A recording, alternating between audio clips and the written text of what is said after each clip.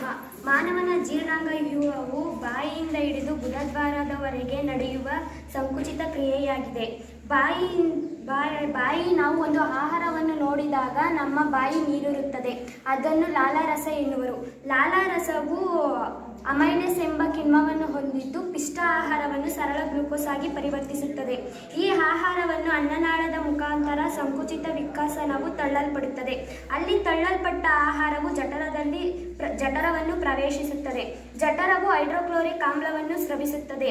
Hydrochloric pepsin ಕಿಣ್ವವನ್ನು ಕಿಣ್ವವನ್ನು ಉತ್ತೇಜಿಸಲು ಹೈಡ್ರೋಕ್ಲೋ, ಆಮ್ಲೀಯ ಮಾಧ್ಯಮವನ್ನು ಹೆಚ್ಚಿಸುತ್ತದೆ. ಹೆಚ್ಚಿಸಿ ಆಹಾರವನ್ನು ಚೆನ್ನ ಚೆನ್ನಾಗಿ ಜೀರ್ಣಿಸುತ್ತದೆ.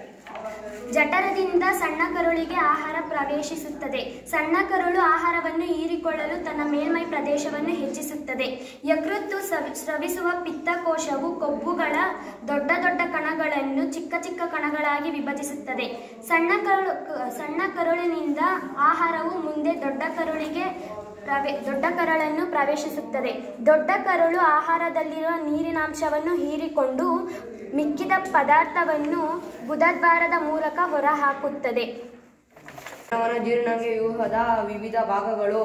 ನಾಲಿಗೆ, ಬಾಯಿ, ಅನ್ನನಾಳ, ವಪೆ, ಜಠರ ಮೊ- ಮೇದೋ ಜೀರಾಂಗ ಮೇದೋ ಜೀರಕಾಂಗ ಸಣ್ಣ ಕರುಳು ದೊಡ್ಡ ಕರುಳು ಗುರುದ್ವಾ ಗುರುದ್ವಾರ ಪಿತ್ತಕೋಶ ಪಿತ್ತಕೋಶ ಯಕೃತ್ ಅಪೆಂಡಿಕ್ಸ್.